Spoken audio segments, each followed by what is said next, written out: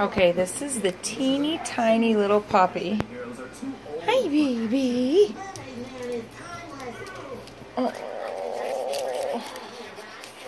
Just want you guys to see. It's hard. He won't hold still. He is... A guinea pig is bigger than he is. He was born July 28th. So far, he's healthy. He's doing good. I had some scares with him a little bit just because of his size. At eight weeks of age, he was only eight ounces. There was a, a time in the beginning where his eyelashes were touching his eyeballs, and I was very alarmed. And I had to bring him to an eye specialist. And she thought that maybe at some point in the future, he might have to have surgery to correct it. Well, since then, he's grown in and uh, grown up a little bit there. And his eyeballs are now completely normal and his eyelashes his eyelids are completely normal and you see his eyelashes. So no more surgery. Everything was normal. He was just too small. So that's all good no heart murmur, no defects. There's just nothing wrong. And there was a point where I was taking him to the vet every single week to get him weighed.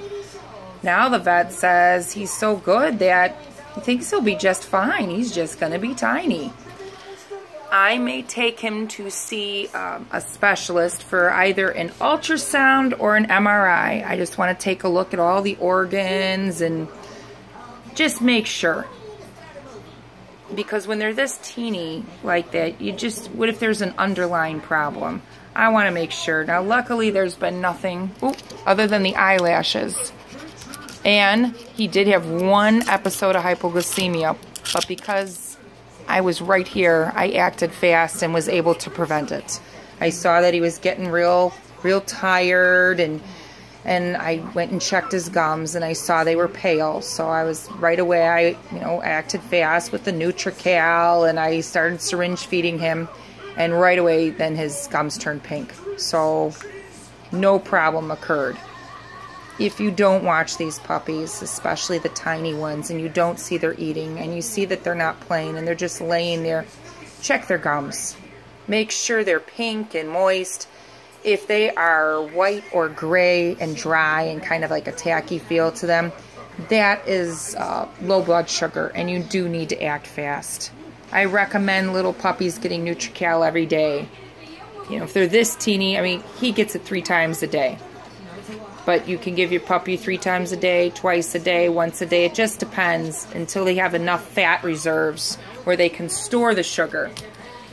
He doesn't have any. He's just so tiny. Now, his size hasn't increased, but his weight has doubled, which is so promising.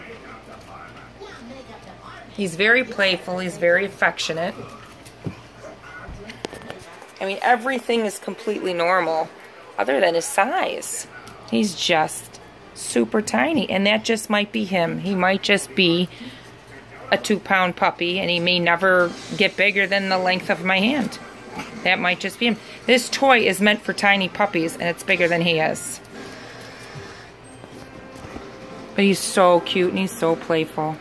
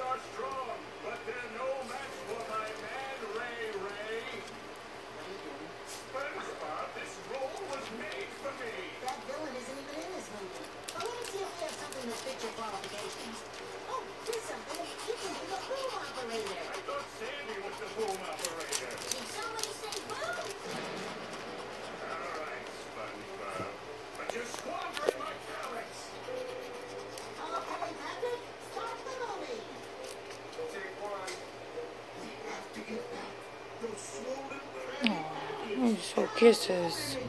I know. I know.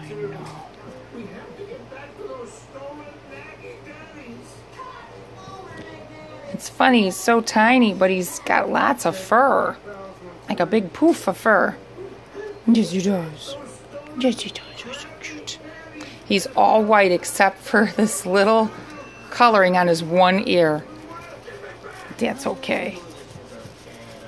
Makes him more cute.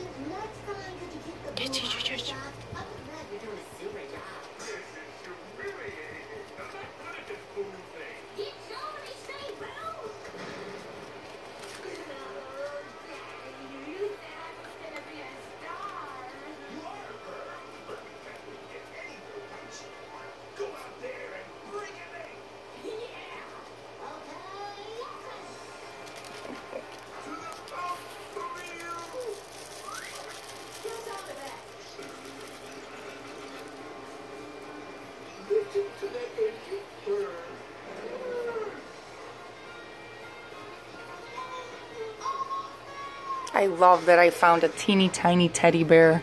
It's so cute. He loves his bed. And the thing is with him, as small as he is, he's the smartest puppy I've ever had. He always goes on the pee pad. He has never had an accident. He knows to sleep in his bed every single night.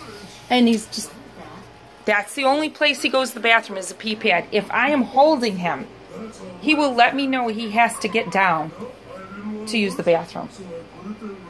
He will not go on me, the furniture, his bed, nowhere except the pee pad. Now I do line his area with pee pads, but he has one spot that he will go here and that's it.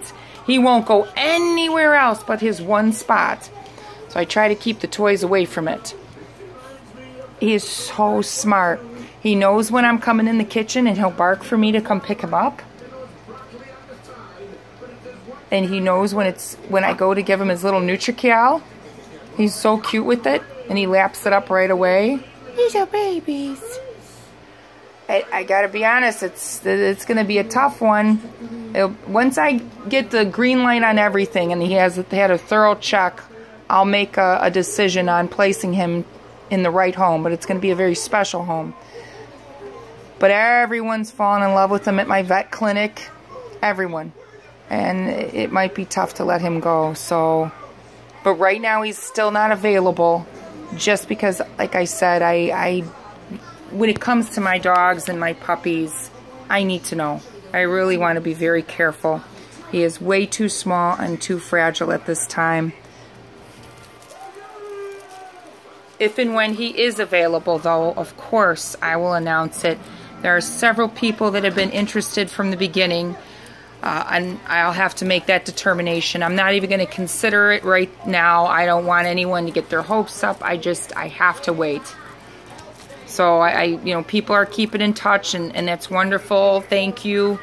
But uh, right now, I'm just going to, count with when it comes to the puppies, with him in particular, it's going to be all about his safety and his health. Uh, I wouldn't even, when it comes to playing with the other dogs, he's the only one I, I really, when I let him out to play, it's very guarded. It's with me on the floor right there. I don't just let him play and run with the other dogs. I have to be there. It's like he's, to me, he's like a little infant. Uh, just, just too delicate. I would be so afraid one of the dogs just running by and, and accidentally knocking him over and, and jumping on him. He's just too fragile. But he's a sweetheart. He amazes me every day, and every day I just fall more and more in love. Just, just a gentle little soul. But I thank everybody for all the prayers because he's been nothing but healthy. Every time I've been scared, turns around, he's fine. I just, I always say tiny but mighty. Say bye-byes. Say bye-byes. Say I love to play. Bye-byes. Bye-byes. Bye-byes. Bye.